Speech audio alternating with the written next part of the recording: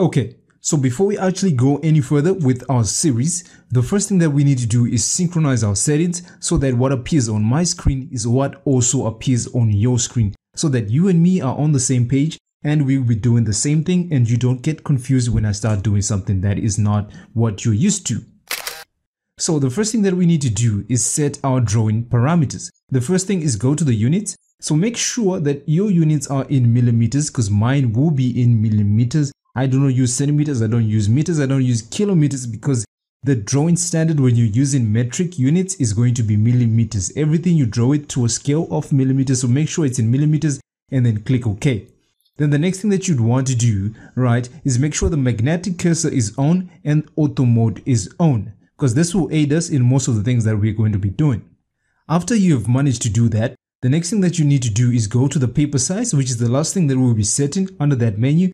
And just make sure that you are using A1 and in landscape mode. Some people may use A2, A3, A4, whatever you use is okay with me, or even if you want to go to A0. But the reason why I use A1 is because it's big enough so that anything that you draw will be visible on site and at the same time it's not too big such as an E0 or A0 because A0s are too big. Yes, they're visible, but they're too big and they're not handled well on site. They end up tearing and they're also just chunky enough to be moving up and down ladders or fire escapes, whatever with them. And also they're just too big for the site. So we want to stick to using A1. So make sure you're on A1 and you are in landscape.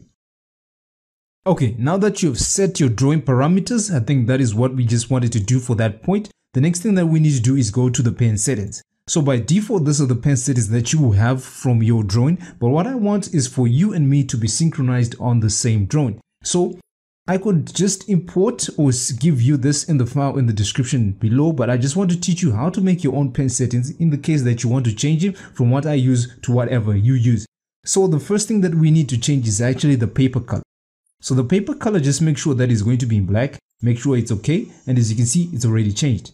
Then for the background, make sure it's in black as well and just click OK and we're good to go. The next thing that we need to change are actually our pens. So in this case, we're just going to go to pen number one. In our case, it's good. The width is going to be 0.1. That is good. But for the color, I want it in red. But then for the print color, I want it in black. That is okay.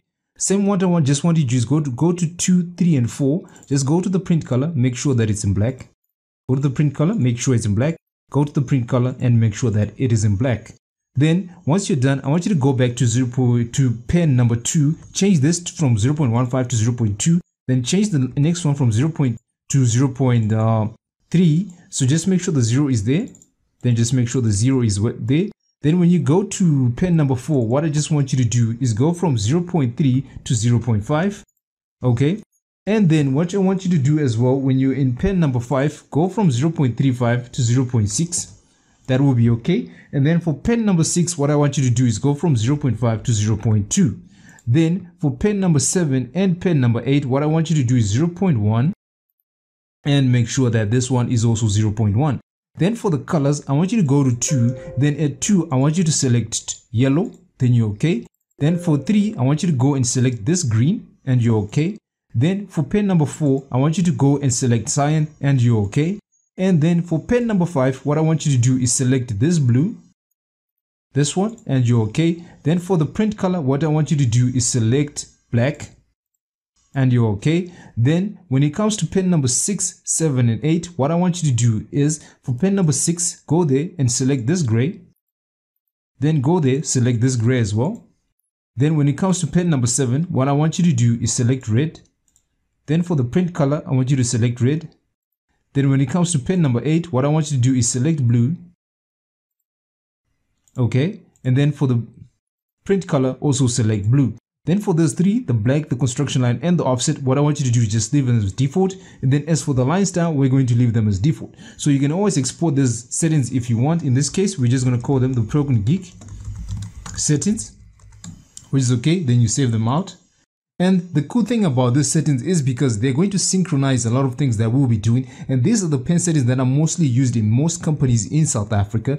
And you could use them because after all, if you're using the SABS or the SANS, you are using things that are common to South Africa. So what you would want to do is just stay synchronized to everyone so that if you move from one job to one project or one province to another, you are just doing the same thing that everyone else will be doing. So this is it for today's video. We just wanted to set our settings and synchronize everything so that you and me are on the same page. So what we'll do is we'll wrap the video right here and we'll see you in the next video.